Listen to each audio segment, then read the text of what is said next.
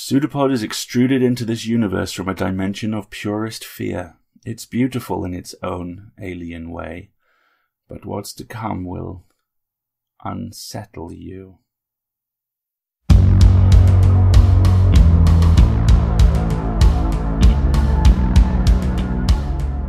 Pseudopod, episode 592, April 27th, 2018. This week's story Free Balloons for All Good Children by Dirck de Lint.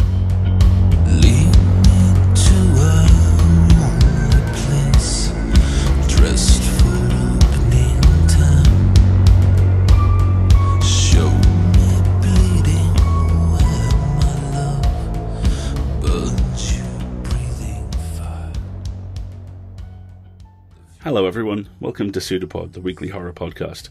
I'm Alasdair, your host, and we are very proud to bring you this week a Pseudopod original from Dirck de Lint. Your reader this week is Rish Outfield, so without further ado, we have a story for you, and we promise you it's true.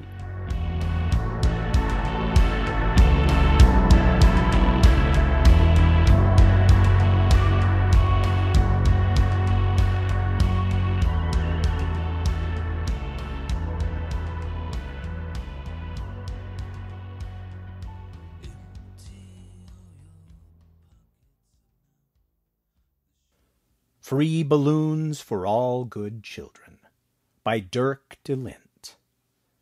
Narrated by Rish Outfield. Tom gave the stroller a little nudge to turn Danny out of the sun. Danny responded by wriggling around under the straps to put himself as much in the sun as possible. Tom smiled at this, and found that he couldn't really blame his son. The day was a little too chilly for so late in May, and if he was enjoying the warmth of the sun, it stood to reason that Danny would too. He was very close to just putting the stroller back the way it had been. There was some uncertainty in his heart, though, about how far Danny could be trusted to look out for his own safety, even now that he was above a year old. When, he wondered, did they stop staring right at the sun if given a chance? Danny underlined the thought by pulling his hat off and flinging it toward the grass next to the park bench. Come on, kid, Tom said, leaning over to reach for the hat. Daddy wants to enjoy his lunch, too. Tom had fed Danny before they left, diced carrots and chicken, and their inevitable fallout were best dealt with at home. Now Tom could enjoy a sandwich in the open air, while Danny waved at flowers and sang in his own secret language. When the sandwich was done, Tom's plan was that he and Danny would finish their walk to the park's playground, where he would push the best son in the world on the swings until either the boy or his diaper had had enough. Da! Danny leaned forward in his stroller, arms outstretched, and Tom followed his line of sight to see what was so interesting. There was a balloon drifting toward them, the cool breeze urging it slowly along. Da! Gib! The consonant was not quite there, but Tom recognized the command. He sat a moment longer, considering the balloon while he chewed the currant mouthful. It was the basic round sort of balloon, a medium blue with pale five pointed stars on it, which had probably been silver before inflation. It trailed a salmon colored ribbon from its stem, the curled end hanging about the height of his own waist above the park's grass. It was an odd thing to see, Tom thought, a balloon scudding along at a constant altitude. He had never seen an untethered helium balloon, which had not raced up and away. One of his own earliest memories was of a red balloon his grandmother had given him receding upward to become a mere dot against a bright summer sky. Perhaps the coolness of the day was affecting the buoyancy of this one, or perhaps it was an old balloon, near the end of its wandering, interior pressure low. Gib! Gib me! Gib! Tom looked at his son, the little face radiant with glee and innocent desire. The stroller was ballasted by a diaper bag crammed with toddler requisites, virtually eliminating any chance of it tipping as Danny reached out, so Tom watched and waited. It seemed that the balloon might come right to Danny's hand as it sloped along across the grass, almost as if it were tacking on the breeze to obey the child's summons. The moment before it was close enough for Danny to grab, there was a little gust which shoved it to the far side of the stroller. Danny strained for it so vigorously that Tom put a hand on the nearest armrest to steady it, while the curling ribbon rotated so that it was very nearly grazed by the questing little fingers before it swept past. Da! Da! Gib! Danny was twisting in the seat, a note of desperation entering his voice. Tom rose, setting his sandwich down on its wax paper next to the thermos. Hang on, buddy. Daddy will get it. He gave the stroller a little turn so that Danny could better witness his father's heroics. It took only a couple of steps, and he could stretch out his left hand to snatch the ribbon. Smiling, he turned to hand the oddly literal windfall to his son, who clapped in delight and laughed the purely joyful laugh of his age. Tom found his turn suddenly arrested, his left arm wrenched backward. But no, not backward. Upward. He looked up at the balloon, saw no apparent change in it except that its ribbon was twanging taut, as if somehow lifted with enough force to make him uncertain in his footing. His feet slipping a little on the ground, he released his grip by more instinct than thought. His hand did not open. His thumb came away from the top of his index finger, but the fingers remained closed, sticking to the ribbon like a tongue on an icy pole. Almost immediately, when he was no longer actively gripping the ribbon, he felt the skin of his palm and fingers slide across the flesh underneath, and he heard a tiny velvet rip from inside his unwilling fist. He screamed at the pain that ran down his arm ahead of the tiny trickle of blood. It was instinct again that sent his right hand to reach up to try and pull himself free. Thought raced after instinct this time, stopping him just before he grabbed the ribbon, freezing him with the sudden realization that he would then have both hands stuck fast to this monstrous trap. In that moment of hesitation, with both arms upraised, he saw the end of the ribbon hanging below his bloody fist, the part that had not touched skin, but only the cuff of his jacket, begin groping sideways, almost beckoning the free hand. He snatched his right arm down. He looked around the park. Toward the lot where he had left the car, there was no one. In the other direction, a hedge made all the parents in the playground indistinct. No one there would hear him calling for help over the sounds of their own children playing. He hesitated to move, fearful that he might manage to launch himself. Beside him was Danny, who was still looking up at the balloon in gleeful anticipation, his little teeth gleaming in a delighted smile, his little hands both raised to take the treat from his father. The pain in Tom's hand and arm was all but extinguished by the thought of what would have happened but for the flirt of wind which kept those tiny, tender hands from clapping onto the drifting ribbon. Tom was a tall man, and overweight with it, and the thing was almost able to lift him. That thought, cutting through the pain, allowed other thoughts in his wake. He remembered the Swiss Army knife he carried, along with his keys, in his pocket, his right hand pocket, a realization which brought such relief that he uttered a single sob as he fished it out. Danny began shouting, Gib! Gib! with increasing urgency. Tom took a careful step away from the stroller, trying one handed to open the big blade on the knife. It tumbled from his grasp, falling end on to the walkway, leaving shards of red plastic on the pavement as it bounced into the short grass under the bench. He slowly dropped to his knees, the act of dragging the balloon down after him, bringing new waves of agony to his palm and making his breath come short and quick. He scrabbled for the knife, peering through the slats of the bench, blinking away tears. He almost knocked it further back, to where he would have to bend even lower or crawl to the back of the bench to get it, but got a finger on it and pinned it where he could, with a small stretch, get his hand around it. Danny was starting to whine working up to crying. He was struggling to get loose from the stroller again, alternately pushing against it and reaching out toward the balloon.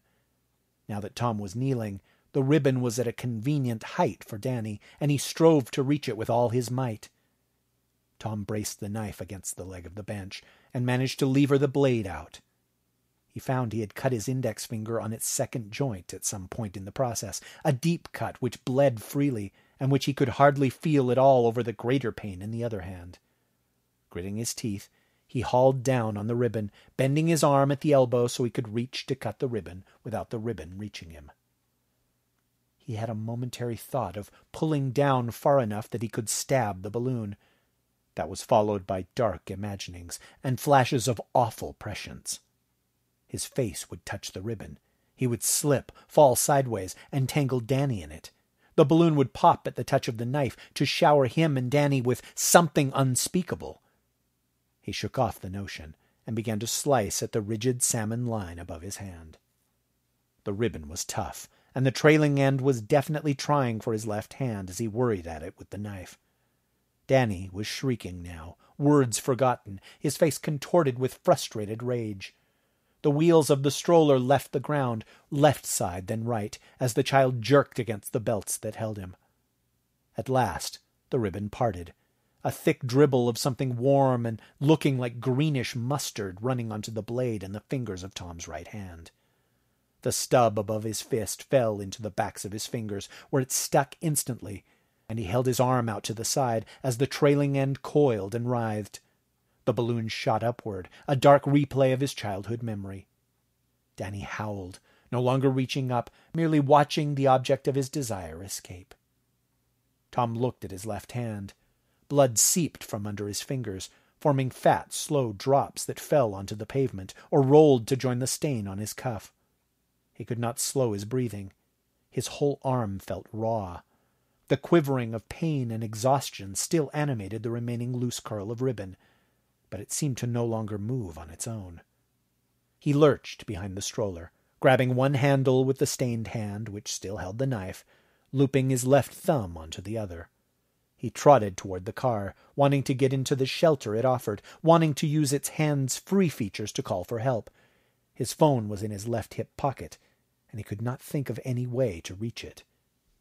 As he went, he glanced back at the bench. Beyond it, the air was thick with balloons, all slowly drifting toward the playground. His screams blended with Danny's as his trot became a dash.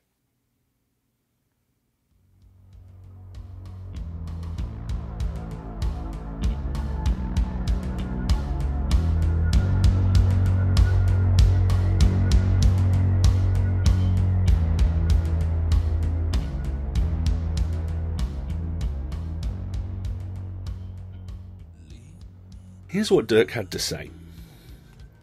This story came about because the balloon described in it drifted past my window at work. Because a balloon floating five feet off the ground on a grey day in early October is so unlikely, my first thought was naturally that it was something horrible up to no good at all. It went away, eventually, after hanging around near a bus stop for far longer than seemed quite right.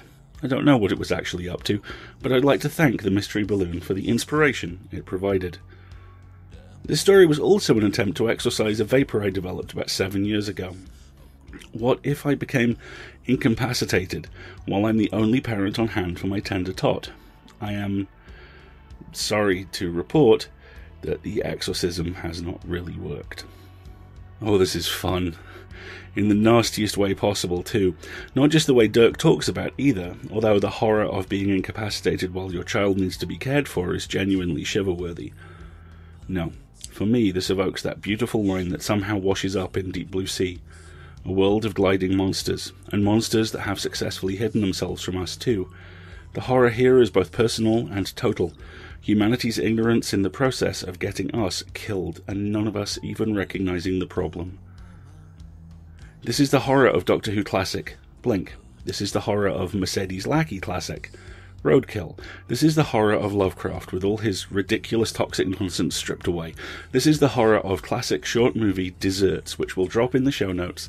It takes about two minutes to watch. It's one of my all time favourite things, and it's absolutely tonally in line with this. And in line with this message, too. The world is not just what we think it is, and realizing that will far more likely kill us than save us. There's a mall down the street from my house, and I work at a coffee shop there a few mornings a month. There's usually a balloon lodged in the roof. I'm glad I'm not the one who has to get it. Thanks to Dirck and Rish and our heroic audio engineer for the month, Marty, for the amazing work that he's done. Now, please help us not to accidentally pick up razor ribboned murder balloons, we've unfortunately got that one down. Rather, to keep going. We are entirely donation funded, and that's all on you. So if you like the show, please either go to pseudopod.org and click on donate or subscribe, or go and back us on Patreon. There are glorious rewards for you, whichever. Or if you can't, why not tweet about an episode you liked or have us on your podcast? We love doing stuff like that. So if that's something you'd like to do, please get in touch. We'd love to chat to you about it. We'll be back next week with The Woman in the Hill by Tamsin Muir and read by the mighty Amanda Fitzwater. Then, as now, we will be a production of Escape Artists Incorporated and released under a Creative Commons Attribution, Non Commercial, No Derivatives license. And we leave you with this quote from well known balloon noir story Enduring Love by Ian McEwan. Selfishness is also written on our hearts. This is our mammalian conflict what to give to others and what to keep for ourselves. See you next week, folks.